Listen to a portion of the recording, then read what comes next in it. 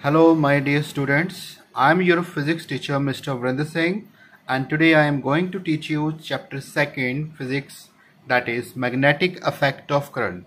I hope you have finished the first chapter of current and electricity on your fair copies and uh, let's start second chapter that is magnetic effect of current. So so, बेटे आज जो हम chapter पढ़ेंगे that is magnetic effect of current इसमें पढ़ेंगे first of all what is magnet तो बेटे magnets क्या होता है हमारे पास? A substance which attract small pieces of iron and points in north south direction when suspended freely in is known as magnetic known as magnet example है इसका magnetite जिसको हम लोड स्टोन भी बोल देते हैं। And also they are so many example lodestone is natural magnets तो बेटे मैग्नेट्स का क्या होता है property that attract the small pieces of iron जो स्मॉल पीसेस ऑफ़ आयरन है, उसको वो अट्रैक्ट करती है। और जब भी हम किसी मैग्नेट को थ्रेड के साथ फ्रीली सस्पेंड करते हैं that then magnet always line in north and south directions तो मैग्नेट हमेशा किस डायरेक्शन में खड़ी होती है? नॉर्थ और साउथ डायरेक्शन में। ऐसे मटेरियल्स को हम बोलते हैं मैग्नेट्स ठीक है बेटे? So this is magnets and next we have artificial magnets artificial magnet is also known as man made magnets जो नेचुरल ना हो जिसे इंसान बनाए मैन बनाए in the laboratory that is also known as artificial magnets तो ये artificial magnet कैसे बनती है? जब जब हम किसी आयरन के पीस को किसी मैग्नेट्स के ऊपर रब करते हैं ठीक है? Then after rubbing it uh, on on the natural magnets again and again then the such iron piece acquires the properties. and iron piece behave as a magnet okay so iron bar can be made a magnet by rubbing it with the natural magnet अगर हम उसको बार बार उसके ऊपर rub करेंगे ठीक है in the same direction again and again then we will see the iron also have the same property as of magnet such a magnet is known as man-made magnet or artificial magnet okay bete so let start तो ये था आपका very basic part so let start now from the tenth standard that is the first topic in that you have in your book तो first topic है relationship between electricity and magnetism तो बेटे, ये जो रिलेशन था electricity और magnetism का who give us Hans Christian Oersted Hans Christian Oersted was a physicist जिसने एक छोटा सा एक्सपेरिमेंट किया that is accidental discovery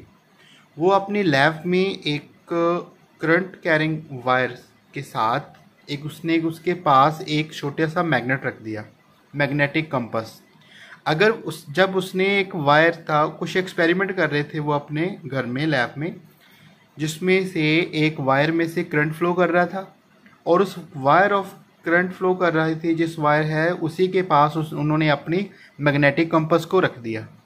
And we know that magnetic compass की नीडल जो होती है, वो कहाँ पे लाइन होती है? नॉर्थ एंड साउथ डायरेक्शन पे।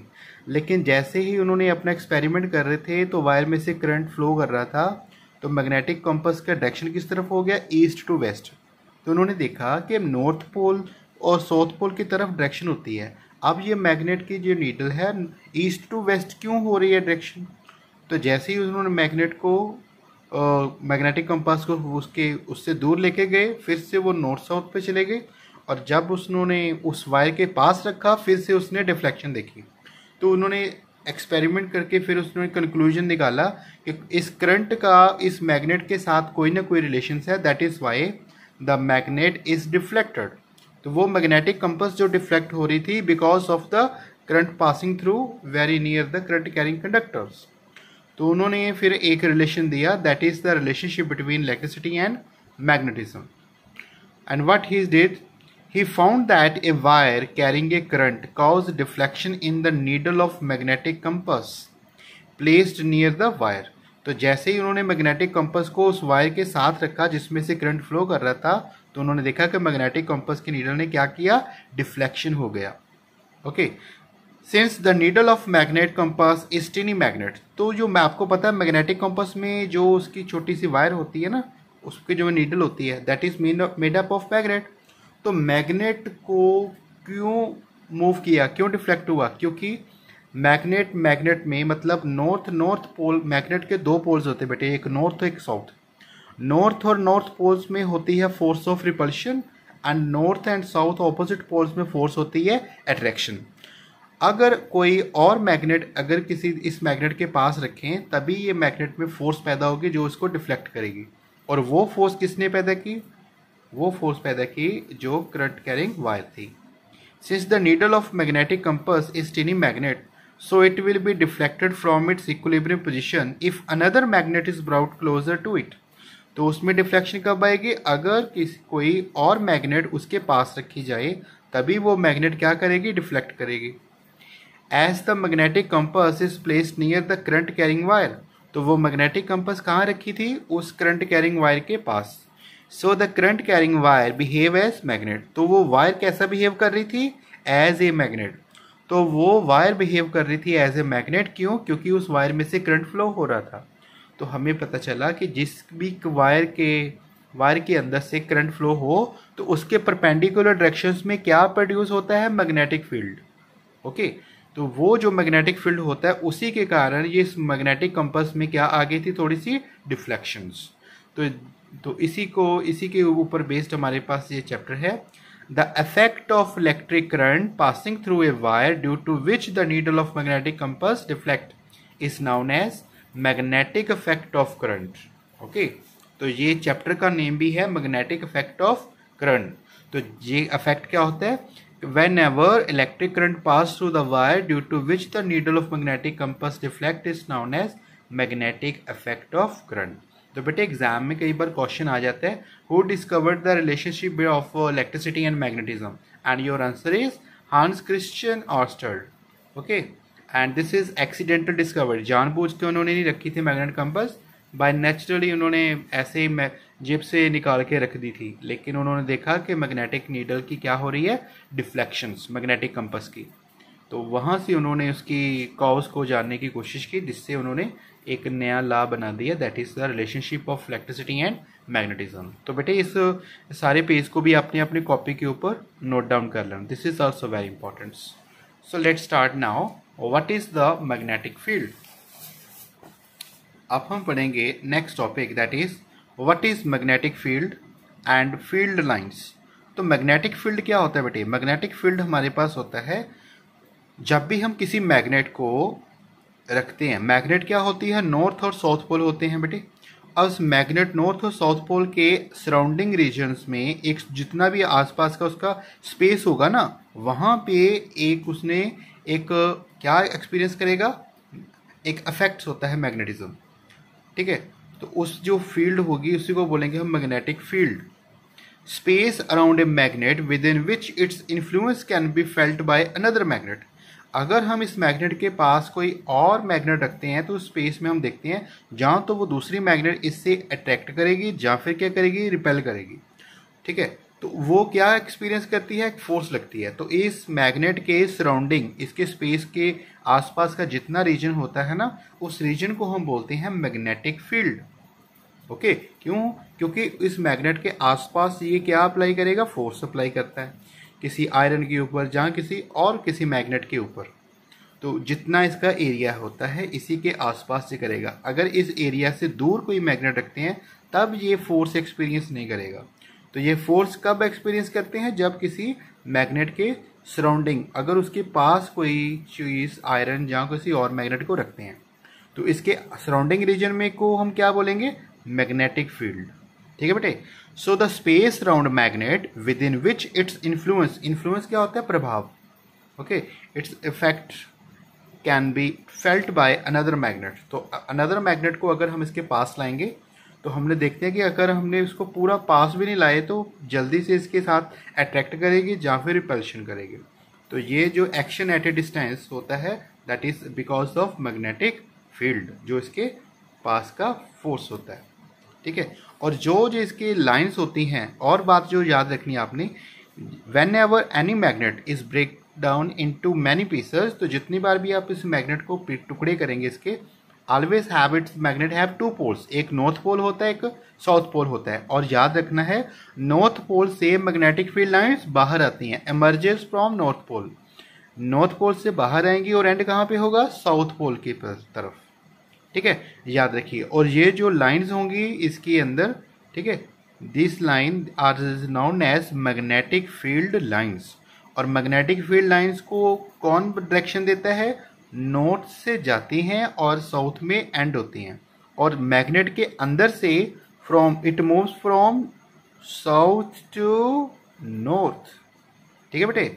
सो so, बाहर की तरफ़ from outer region magnetic field lines moves from north pole to south pole but inside the magnet magnetic field lines move from south to north ठीक है?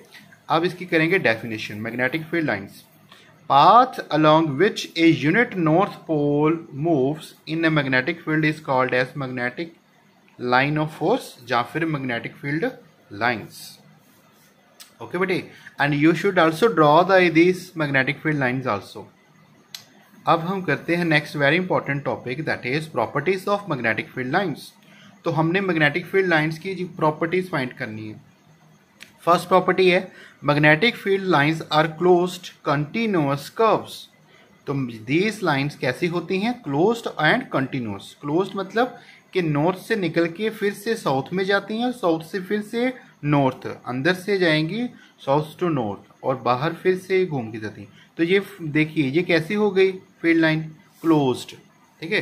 And continuous continuous मतलब लगातार ये चलती रहती हैं, ये रुकती नहीं है। ठीक है?